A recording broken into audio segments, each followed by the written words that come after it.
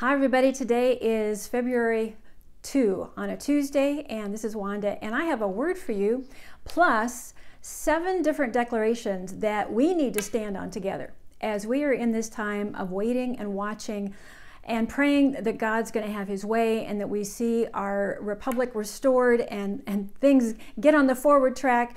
Uh, I don't know about you, but I've been struggling a little bit, you know, with some tiredness, maybe just physical exhaustion uh, and even some questions at times. And, you know, I need to get my own faith restored. I've been watching some videos, getting into the Word, getting some sleep. And um, as I was, you know, just waiting on the Lord this morning, He dropped a word into my spirit. And it was a very unusual word. That's how I often know that it must be Him, because it's not a word that I use in my vocabulary. And it was the word acquiesce. And I looked it up, and that word acquiesce means to accept, comply, or submit tacitly or passively. And I knew right away what he was saying. Uh, do not acquiesce. Do not just uh, tacitly comply with the enemy's agenda that is going on right now. And, you know, this is a very trying time. There's no question that our faith is being tested. We are in a window of time, I've said it before. Uh, a lot is happening, and yet there's so many unknowns. And, you know, there's both ground warfare as well as spiritual warfare. And uh, I did feel a little bit of a, a, caution in my spirit this weekend. You know, the, the ground warfare, uh, you know, we've all probably been getting different intel and links and videos and information about what might be happening, you know, with the military and all that. And you know, there's probably some some truth to it. Uh, I mean, even just common sense says you can't imagine. I mean, even the president and, and other of these leaders just sitting back and twiddling their thumbs and not doing anything. You know, there's got to be some kind of plan. We just don't know what it is, when it might happen. But ultimately, I felt like the Holy Spirit was saying, "Listen, God's trump has got to be the focus." I mean, he any plan here only yields and submits to His plan. That's where our hope has to be. You know, in, in the past couple of weeks and months. I mean, let's uh, be honest. If we look too much at the plans that we hear about what's happening on the ground, you know, things don't happen the way we thought. And then what happens is hope deferred sets in, and we begin to feel like, oh no, oh no. And so I just felt like the Lord cautioning me just to guard my own heart and to really look at the spiritual aspect and what God God is saying. You know, this isn't just a time to just sit and wait. And I think that's the other caution is that in some of these uh, plans that you know come along uh, our way, you can kind of get the idea. We just have to kind of wait and you know watch the show, and you know again there might be some truth to that, but uh, the enemy can get a hold of that as well and just make us think you just don't need to do anything, don't need to say anything, don't need to pray anything, you know, just watch. Well, no, we, we need to get engaged. And that's part of what I want to want to share with you these seven declarations no, we need we can't acquiesce. We can't comply. We need to contend. We need to contend for this breakthrough uh, because it's not just going to you know happen on its own. Heaven invites us to partner along with this, and so this is what I, I want to share these seven different things, and, and I'm going to say them as declarations. And I will just say it at the beginning because I've got a lot of scriptures with this. I do have all this in writing in the blog that I just released today, so I'll tell you how you can go there you can get your own copy, even you know, print it out and, and download because it's it's going to be a great prayer guide too. But the first declaration is God's word can be trusted. Absolutely. God's word. And it's not just his written word, that's where it starts. Remember, any prophetic word is only built on the written word. Who God is, his heart, his character. I mean, this is what we have to count on is what has God said. And I've said it before you know, even in terms of what God has said through dreams, visions, insights, revelations, not just from prophets, but from believers all across the world, an unmistakable, uh, you know, collection and alignment into what God is doing in this hour in history. That's what always builds my faith. You know, it's one reason why I'm glad that I journal. And, you know, I hope that you do too. If God speaks something to you that really is powerful, especially if someone prays for you, you know, and speaks a word over you or prophesies, write it down. Because if you're like me, I forget it. And that's why I go back and I revisit what God has said, what really touched my heart at one time. And it's like it comes fresh again.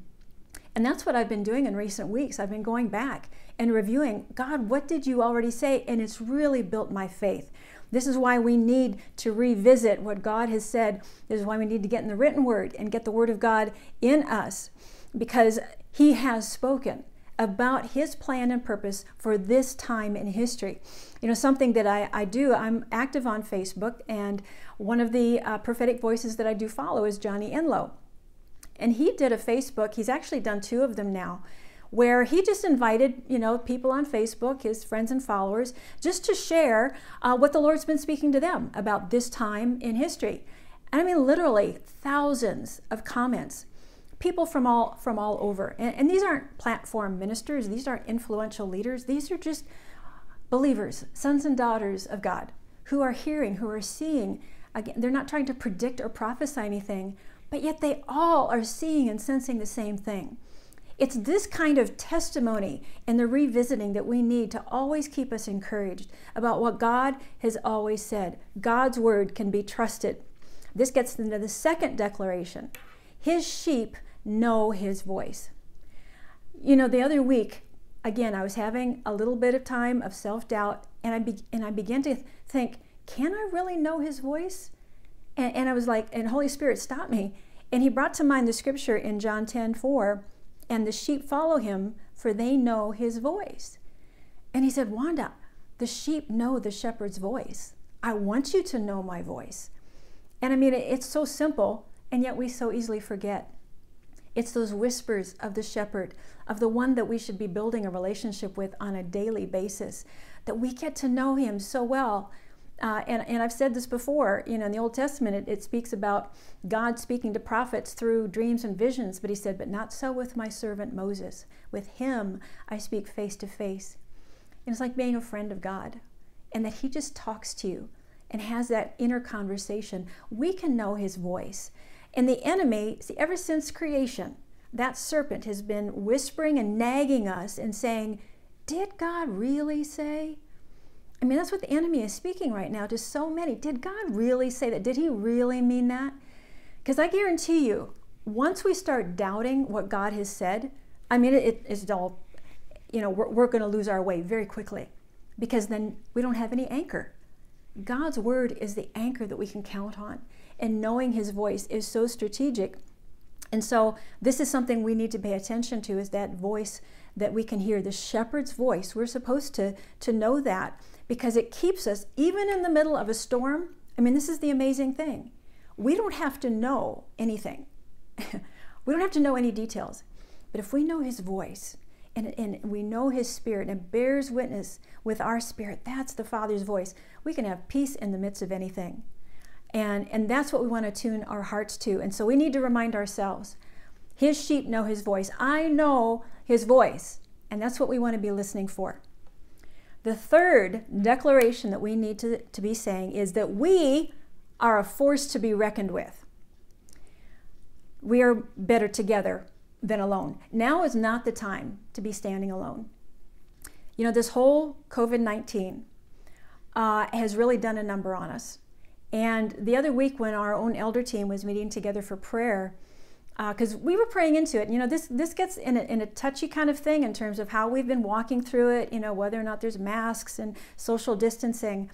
But as we spent some time before before the Lord, the Holy Spirit reminded me there is a virus, COVID nineteen, but there is a spirit, COVID, that's attached to it, and it's demonic.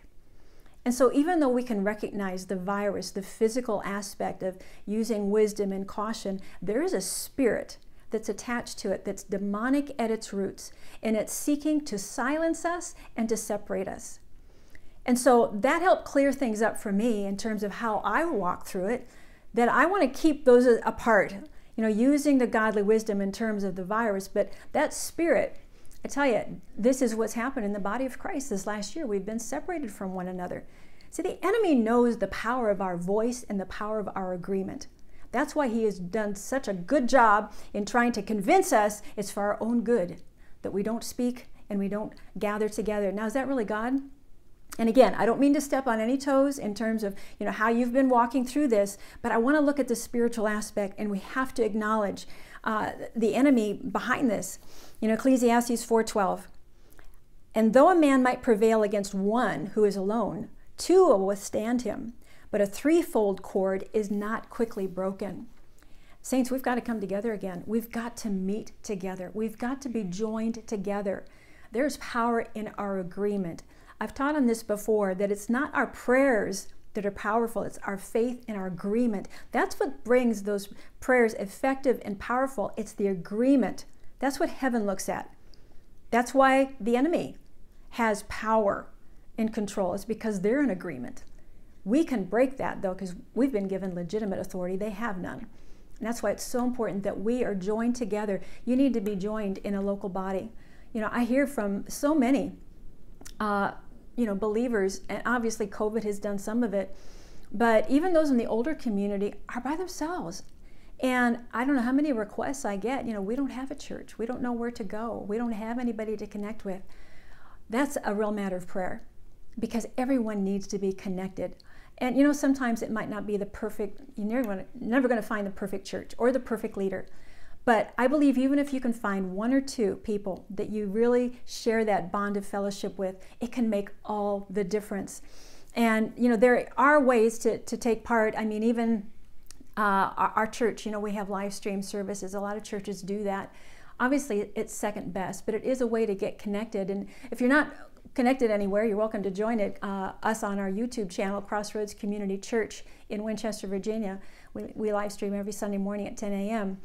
Uh, and there's also, you know, Intercessors for America is another place, and, and I'll actually be telling you more about that uh, at the end of this, because there are ways for us to connect. We've got to join together because we are a force to be reckoned with. All right? Number four, the knowledge of His glory will be comprehensive and known across the earth.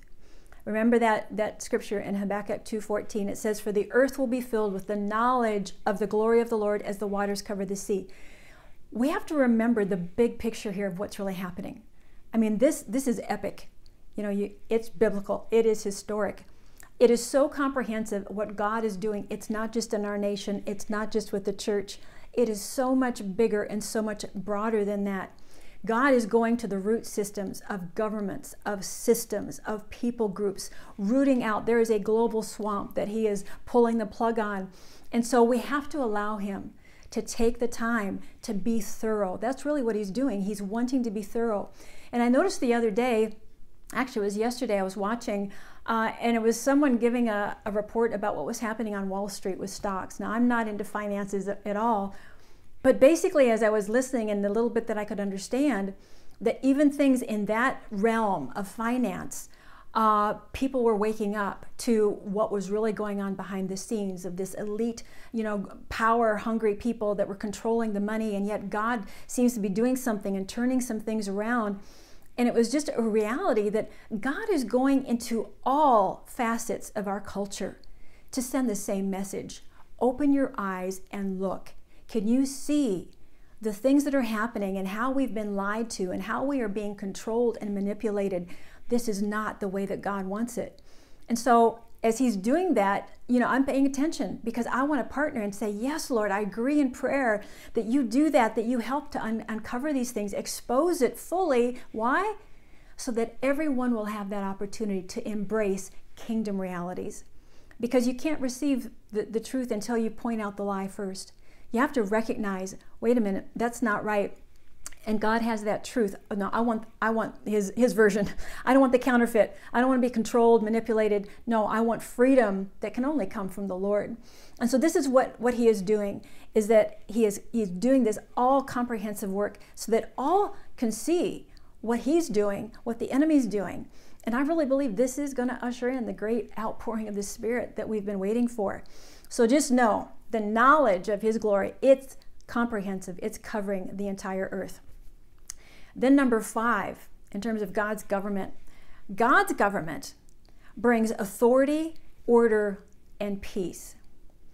Now, I, I, write in my book, Moving from Sword to Scepter, I have a whole chapter on this about what God's government looks like. Government is different than politics. You know, we talk about politics. Politics is man's you know ways of getting involved and in, in, in, doing things but government uh, is god's idea Isaiah 9 7. Of the increase of his government and of peace, there will be no end on the throne of David and over his kingdom, to establish it and to uphold it with justice and with righteousness from this time forth and forevermore. And the zeal of the Lord of the hosts will, will do this. God has a government that he wants to put in place. It doesn't mean that he's going to dominate everything and that Christians are going to rule the world. No, what it means is that he has a, a system, a governmental system that's the kingdom. It's living by kingdom principles. It's ruling, it's leading in righteousness and truth. And there's other scriptures that say the mark of God's government is peace and order. When God's government is in place, when kingdom government principles are honored and recognized, it brings stability to a nation. It brings stability and order. And it brings peace. Now, it'll bring peace to those who, who uh, partner with it. Now, obviously, there's, there's never going to be in time until, you know, Jesus returns that everybody's going to be saved and, you know, follows, uh, follows in line because there will always be those that will choose otherwise. But yet, to those who yield uh, to the Lord and who embrace righteousness and truth, it brings peace. And so, this also brings me to a, a very important point that I, I want to say about authority in government. Because uh, some are saying at this point, and there's it's drawing a little bit of contention with the current administration, you know, using Romans 13, we're supposed to submit to all, you know, governing authorities. That's what God has told us to do. Well, I've actually done some extensive teaching on this, and I do cover it a little bit in my book. But bottom line is, first of all, Jesus is the only one who has all authority. He told his disciples, All authority has been given to me. All authority comes from heaven. And God has already determined what that looks like. You cannot have authority if you do not walk in truth and righteousness. That's a requirement. And in Romans 13 and also in 1 Peter 2, it talks about what this authority is going to look like. Basically, it says that when a civic ruler, a governor, president, when they are operating according to God's authority, it will be evidenced by bringing terror to the wrongdoer and praising those who do good. That's, that's pretty huge, okay? When God's authority is honored and embraced, whoever is leading, they're going to bring terror to those who do wrong. They're going to punish the wrongdoer and they're going to praise those who do good. That's how you know that that government, that leader, is under God's authority. If that leader is not punishing the wrongdoer or praising those who do good, they're not operating under God's authority. All that's left is, it's just power and control. And so this is something that we're having to contend with. And for me, I'll just say for my own conscience, I separate out of you know what I cooperate with versus what I comply to. My, my husband came up with that. He said, I, I want to cooperate as best as I can for the sake of the good of everybody, but I'm not going to comply or submit to an ungodly authority that tells me to go against God's word. And so I'll just put that out there. Okay, if you want to know more, you can you can get my book because there's a whole chapter on it. But my point is that we want legitimate authority and we need to pray for God's legitimate authority because this is an attack on authority. What we are seeing is when there is no authority, when there's no legitimate authority, everything falls apart. That's what we're seeing. Everything is literally falling apart. If you're paying attention to what's happening in other nations on the earth, systems are crumbling. Now that that's God's doing. But we need godly authority figures. And I, and I do need to correct something, and this came by one of the videos that I watched over the weekend. Because I've written before, and I know we've said before, this is not about a man, it's about what God's doing. And uh, it was actually Mike Thompson in one of his uh, videos. And, you know, he reminded me, and I felt like the Lord was reminding me there's no shame in saying that God uses men and women to lead. I mean, the Bible is full of, of biblical heroes, you know, of David, Daniel, Joseph, these men, you know, Esther, these men and women of God that were used as vessels, but they were strategic, significant, because they were anointed and appointed. And so I just say that because this is what we need. We need legitimate authority in order to break through, break the strongholds, break us out of this grip of the enemy. And this is what we need to continue to stand for, contend for that God's government is what rules, that his government and his authority is what is established, not just power and control. All right, number six. For the sake of his name, he will bring vengeance on his enemies. You know, this is a reminder to me when, you know, if we're not careful, we can begin to think everything is so unjust, you know, and we think, God, when are they going to, when are they going to go to jail? You know, when are they going to have to pay their dues? God is going to have his way. You know, Ezekiel 29. But I acted for the sake of my name, that it should not be profaned in the sight of the nations among whom they lived. You look throughout biblical history, especially in the Old Testament, and though God uses people, you know, and He loves to just release us to do our thing, you know, and, and He loves to equip us to, to be, you know, ambassadors on the earth, there are times where His enemies repeatedly refuse Him, mock Him, profane Him. He gets to the point where He says, Enough is enough. I'm stepping in. And I really I believe that we are at that point right now in this time in history that the saints of God have prayed we have repented, and I've, I've spoken this before specifically about the bloodshed on this land. That there has been repentance. God has been pleased with our worship, with our prayers. And I believe that those bowls have already been filled and have already been tipped over. Certainly, there's you know repentance that we can always be doing in, in other areas. But I believe we're not at the point where well, we just need to pray more, we need to do something harder. No, I believe that He is pleased with us, and now it's His turn that he's going to have his way. And I believe that we're even going to see judgment upon his enemies, those who have refused, repeatedly refused to repent. We're going to see judgment upon them. I believe, like what happened in, in Bible times. And you know, I've been careful to say anything because I certainly don't want it to sound like I'm I'm cursing anybody. I, that, that's just you just don't do that. But you know, in the Book of Acts, Ananias and Sapphira, apart from any human intervention, they fell dead because of their sin. And I've, I've often felt from the Spirit that this is something that we may start seeing happen. I wouldn't be surprised. Let me just say that. I'm certainly not praying that. I just wouldn't be surprised because even in the book of Acts, when that happened to Ananias and Sapphira, it said the fear of the Lord came. And how many of us have been praying for the fear of the Lord to come? I mean, that would certainly get people's attention. But I believe, you know, sin has its own consequence.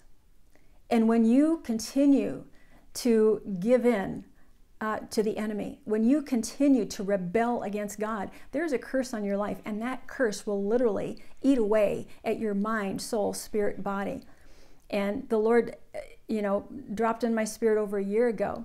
Don't be surprised if, if, to see some of these, you know, public officials and these who have refused God that they're going to begin to have mental illness.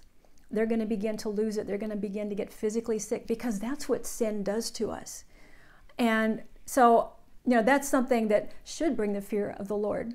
But this is why I believe this is a time when God is going to have his way. He's already spoken it.